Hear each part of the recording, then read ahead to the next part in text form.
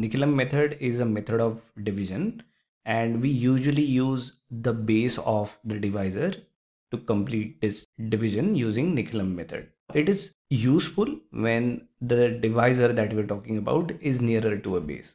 Base is supposed to be a power of 10 such as it could be a 10, 100, 1000 etc. Mostly because we are looking at a divisor it, it is a possibility that it will be near to 10 or 100. An example of such a division could be 132 divided by 9. In this case the divisor is 9 and when we talk about a base because 9 is closer to which power of 10 it's closer to 10 so in this case base of 9 will be 10 so I'll just quickly write it in different color. So base here will be 10 and we need to learn about what is a supplement divisor it's an important concept before we learn about the Nikhilam method so supplement divisor is going to be 10 minus 9 is equal to 1. We are looking at a specific case when base is greater than divisor. So let's see how we can complete Nikhilam method now. So the example that we are solving here is 132 divided by 9. In order to start with Nikhilam method, we should make three parts of the page where we are solving this example. So let's create two lines like these and we will complete our division here. So now first of all let's write the divisor on the leftmost part and below that we write our supplement divisor. Supplement divisor is 10 minus 9 which is 1 so we'll write 1 here like this and then we write the dividend which is 132 remember that this is a dividend and we want to write dividend in these two parts the right hand part of the page is reserved for the remainder in this case. Because the base that we have chosen is 10 and there is only one zero there, the remainder will also be a one digit number. So we just have to reserve one place for the right hand side and we can write 2 from 132 here and rest of the digits 1 and 3 like this. So this is how we start with Nikhilam method by writing down the dividend and divisor in this fashion. Now the next step is to draw a horizontal line like this and then bring down the first digit of the dividend below which is 1.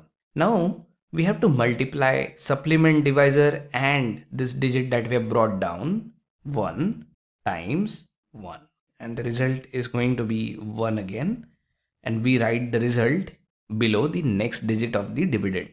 And then we just combine these digits and we get 4. Now we multiply the supplement divisor by the, the result that we obtained here. And so we will again do plus plus 1 times 4 which gives you 4 and then we write the result below the third digit of the dividend and then we combine these two and we get 6. Now we have to check few things. Is the result that we have got here less than the divisor that is 9? Yes, 6 is indeed less than 9. So that means we have finished our division. So now this part here shows us the quotient and the rightmost part shows us the remainder and that completes our division using Nikhilam method.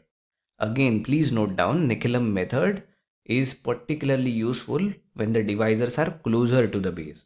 We can like test this result. If we multiply quotient by the divisor, which is 9, and then we add the remainder, we get 126 plus 6, which is 132, and that equals the dividend. So our division here is correct. Now we will find out division 138 divided by 9. Again, the base is 10 and the divisor is 9 so supplement divisor is going to be 1 and now let's create three parts of the page again like this. Let's write the divisor 9 and below that we will write the supplement divisor in yellow. Let's write it in yellow let me put it in the brackets now we write 138 in the middle and the rightmost part in a way that the rightmost part is dedicated to a one digit number because the divisor that we are looking at is a one digit number. So this is 8 and then we can write 1 and 3 like these. Now quickly put the horizontal line like that, bring down this one, and then we will multiply the supplement divisor with first digit of the dividend, which gives you one. Then we write the result below the second digit of the dividend and the result we get is 4. Now we multiply supplement divisor 1 with the 4 and the result we get is 4 and we write that 4 below the third digit of the dividend. As you can see, the result for the remainder is 12.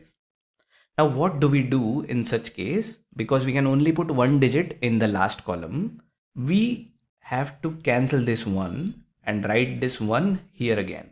I'm just extending these columns now. So we have cancelled that one from 12 and written it on the left hand part because our division is not yet complete because our remainder was more than 9 or rather it, it was a two digit number.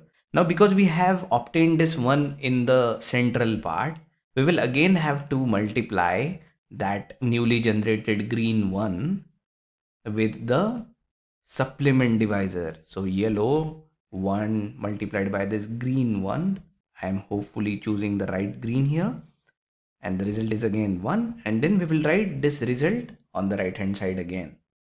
And now we will sum 14 and 1 which gives you 15. And on the right hand side we get 3. And have we got a single digit remainder? Yes.